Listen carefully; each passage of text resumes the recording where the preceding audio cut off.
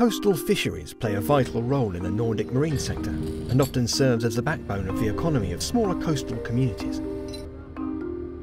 The coastal sectors in Norway, Denmark, Sweden, Faroe Islands, Iceland, Greenland and Newfoundland included in 2016 almost 20,000 coastal vessels that caught close to 900,000 tonnes, valued at 1.2 billion euros.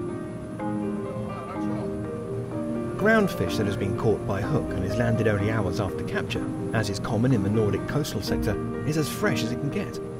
This does not, however, guarantee top quality.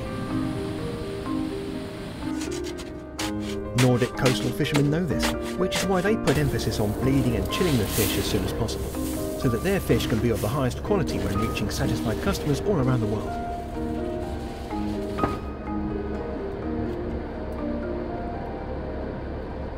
The bleeding is done as soon as the fish is taken on board the boat.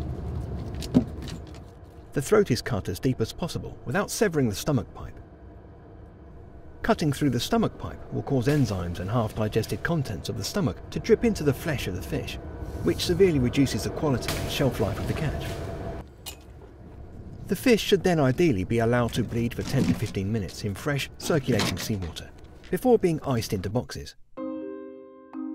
Many small coastal vessels do however not have the necessary space to have such bleeding equipment on board, and in such cases, the fish is placed directly into the storage boxes in ice slurry for bleeding and rapid cooling. Improper bleeding causes the fillets to become reddish in colour, and they will have significantly shorter shelf life than if they had been well bled. The rapid cooling and unbroken chill chain does also have major impact on the quality and shelf life of the products as improper cooling will cause gaping and other quality problems and can reduce the shelf life of the products by up to 50%.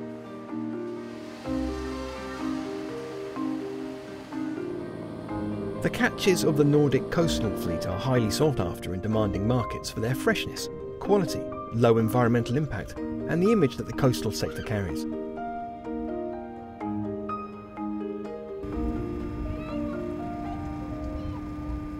Consumers are increasingly interested in knowing the story behind the food they eat, and a story that tells of a coastal fisherman fishing in the cold and clean Nordic waters on his small boat is one that can hardly be matched by any other food suppliers.